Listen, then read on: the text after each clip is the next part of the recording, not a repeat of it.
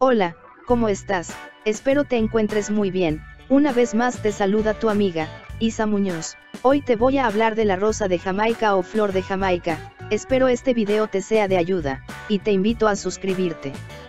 La flor de Jamaica, también llamada rosa de Jamaica, o Jamaica, es originaria de África, es una planta que puede crecer de 1 a 3 metros de alto, su flor es de color rojo de 3 a 4 centímetros de largo, formada por 5 pétalos, la corola es de color blanco, y su flor es carnosa, tiene largas espinas que rodean la flor y el tallo, se reproduce por semilla, necesita de 11 a 12 horas de luz, es de climas secos, y es sensible al frío.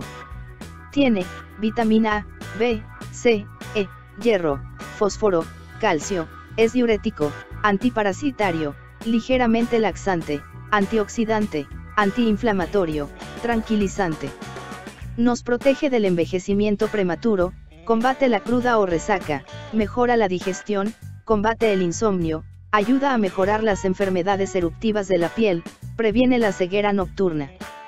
Fortalece los huesos y dientes, combate la debilidad muscular, previene y combate infecciones respiratorias, combate la anemia, combate la fatiga, limpia el hígado y los riñones, elimina toxinas del cuerpo, elimina el exceso de agua, disminuye el colesterol, disminuye los triglicéridos, ayuda a la circulación de la sangre, relaja el cuerpo, quita los nervios, elimina el estrés, y baja la presión arterial.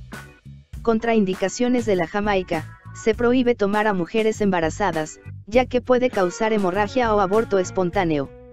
El consumo excesivo de la flor de Jamaica, puede afectar la concentración, por eso se recomienda no usarla cuando se van a realizar tareas, que requieren concentración o fuerza. No consumir si se desea un embarazo, ya que impide la implantación del embrión en el útero, al igual se prohíbe a hombres que deseen crear un hijo, ya que disminuye la fertilidad masculina, al disminuir la cantidad de espermas. Se prohíbe a personas con insuficiencia renal ya que por ser diurético, obliga a los riñones a trabajar en exceso, Está prohibido a personas con presión arterial baja, porque la jamaica baja la presión. Puede causar reacciones alérgicas a algunas personas. Las personas que tienen insuficiencia renal no deben consumir diuréticos. La jamaica la podemos consumir en agua de sabor, o té de jamaica.